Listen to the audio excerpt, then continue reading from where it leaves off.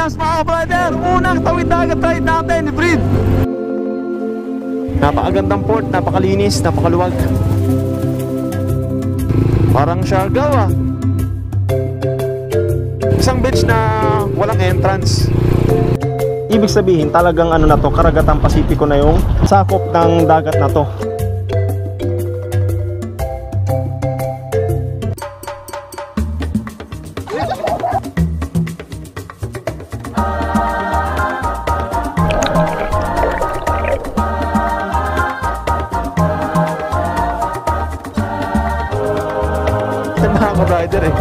Eh.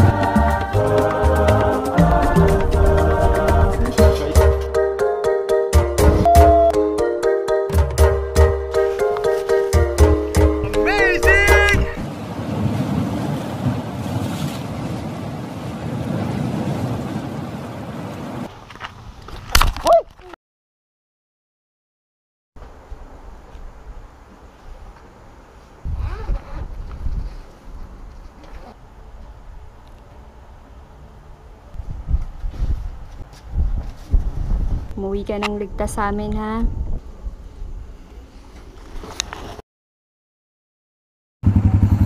Sir, full tank pula.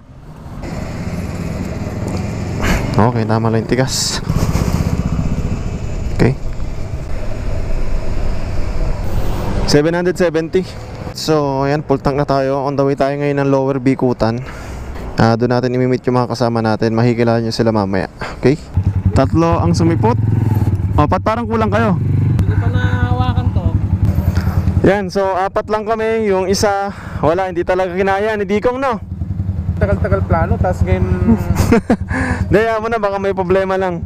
So akala ko lima kami, apat lang pala. Na okay lang, yung si Dikong TV na kasama natin doon sa Nueva Ecija is hindi natin makakasama ngayon. Uy! Si Dikong di ba? Biglang umabol.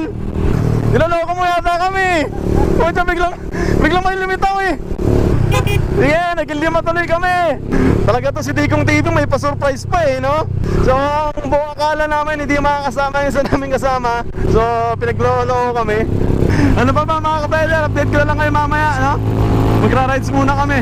Kaway pala tayo ng Bordeos, Quezon, mga kapatid. So, daan natin is Real Port. Yan, dun muna tayo unang pupunta. Doon tayo sasakay ng barko. Sasakay natin tong motor natin. Yes! Yes mga ka-brother, unang tawid dagat ride natin ni Brid. Dito na kami mga ka-brother sa Pami Laguna. Yan.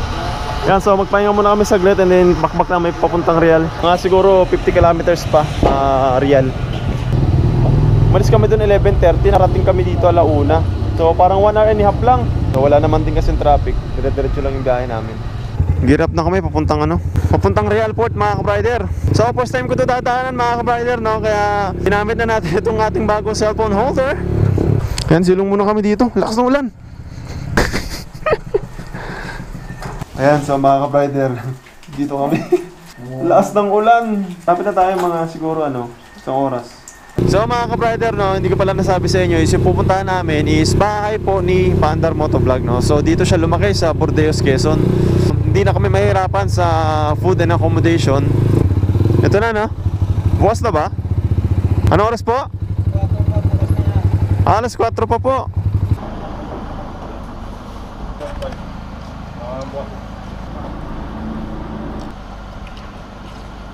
Kakain muna kami kasi alas 4 pa daw kami pwedeng pumasok dun sa port. So, napaaga kami ng isang oras, alas 3 pa lang. Pero okay din. At least hindi kami naghahabol ng oras, di ba? Kasi kung saktuhan, baka maiwan tayo ng barko. Alright, this is it, this is it. Yes, tatawid na tayo. Ah. Yeah.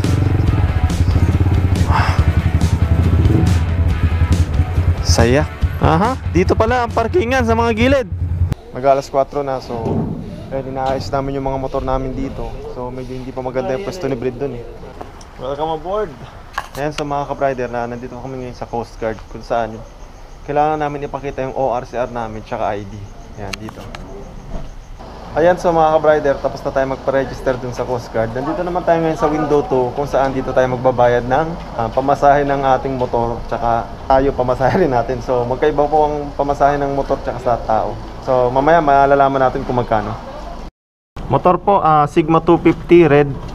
Sigma 250. Opo, kulay red po. Thank you, sir.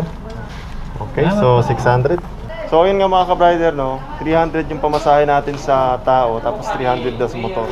Total of 600 pesos. Let's go! Mga ka-brider, yan. Nandito tayo ngayon sa captain seat. Sir. Mga ka-brider, oh. Yes, we're leaving. We're leaving in Real Quezon. Very nice. Napakaraming numero. Hindi natin alam kung para saan yan. No?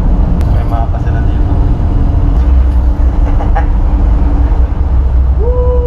Sir, salamat ha.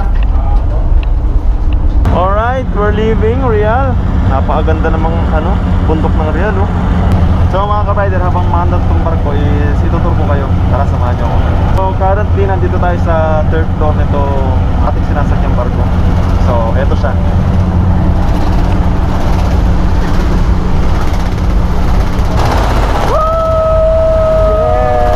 So tara, baba tayo sa second floor mga kaparider. Tingnan natin kung ano makikita natin doon. So nandito tayo ngayon sa second floor.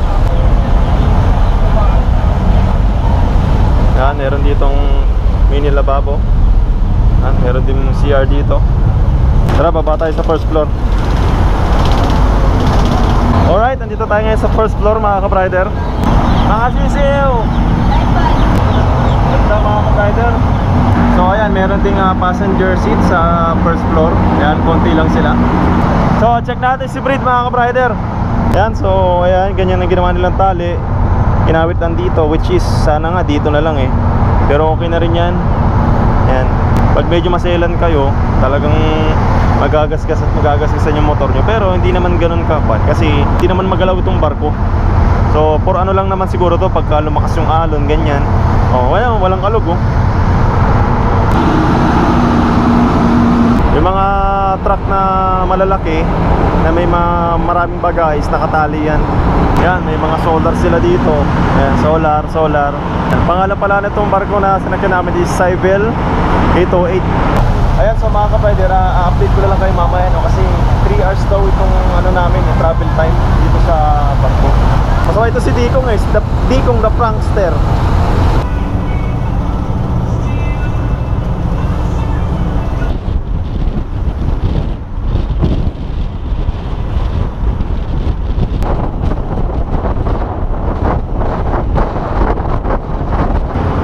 Alright, after 3 hours o more than 3 hours mga kaprider, nandito na tayo sa Pulilio Port. Ayan.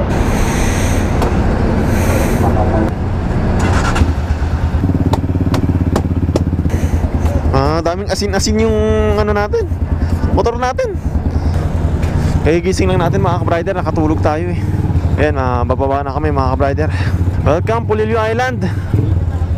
Let's go. Aha. Ayos dito. Ang dami naka-blue.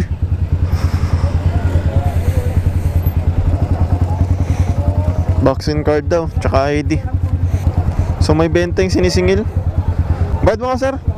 Bayaran kita, ha? Ah, 20. Dalawa na kami, sir. Ano uwi po, sir? Pa? Bordeaux po. Apo Days din. Opo. Kasama ko po sila. Days daw sila lahat. Lima daw sila. Kayo po yung lima? Opo, limang motor po. Salamat to. Doon muna tayo mag-park sa may seaside. O, doon sa dulo, tara. Ang ganda ng landing area ko dito sa drone. Tama-tama, magdo-drone shot ako. Pila-pila tayo. Let's go up, up, up.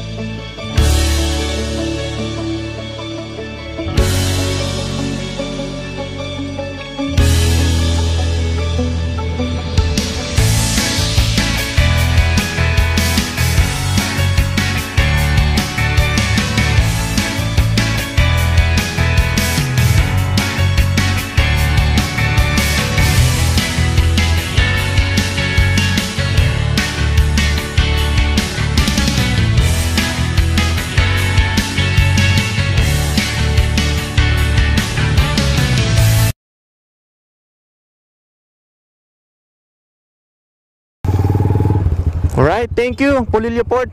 Napakagandang port, napakalinis, napakaluwag. So mga kabrider, on the way na kami ngayon sa Bordeos, Quezon. Mabuhay, Pulilio, Quezon! So sabi ni Pandar, ah, 30 minutes pa daw papuntang Bordeos, Quezon. Nakatapak si Brid sa panibagong isla, no? Itong isla ng Pulilio at Bordeos is isa sa mga bihirang puntahan ng mga ng mga tao, ng mga nag-adventure, ng mga nagta-travel. Kasi nga medyo mahirap siya puntahan. Nakapwesto ang Pulilio Island sa eastern part ng Pilipinas, no? Itong adventure namin ngayon, mga kabrother, is ipapakita ko sa inyo yung ganda ng Pulilio Island at ng Bordeos, Quezon. Yan. Itong 2-day ride namin mga kabrider. Yes, mga kabrider, tama kayo. 2 days po kami dito. mag stay sa Bordeos, Quezon. Yan mga kabrider, oh, ang dami ng mga buko dito. oh. So yung kalsada niya dito mga kabrider is hindi siya asfaltado, no? Sementado lang siya. Kung titignan mo, para siyang ano, ah, barangay road. Ah, may mga palayan na rin dito. Oh. Gaganda ng palay nila. oh. Medyo hindi maganda yung panahon mga kabrider no Pansin nyo kanina inulan kami Tapos ngayon makulimlim Tapos mahangin Almost 3 hours and a half din pala yung binahe namin kanina dun sa barko Nakatulog na ako Sabi ko hindi matutulog Ibabantayan ko Ang tagal din pala ng tatlong oras nakatitik sa dagat Hindi yata uso helmet dito sa kanila eh Kasi parang wala namang magche-checkpoint dito ang helmet is hindi para sa checkpoint, di ba? Para sa safety ng bawat isang rider.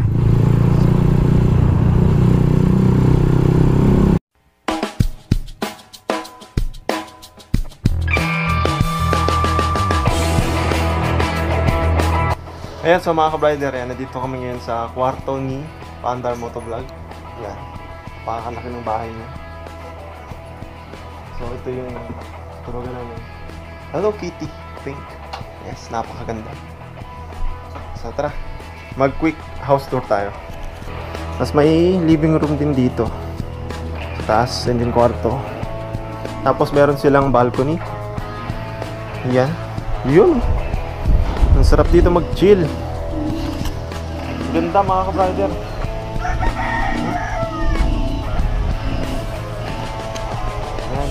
Mga ka-brother, dito ko natatapusin yung first part ng ating video. So, abangan nyo yung mga susunod na mangyari.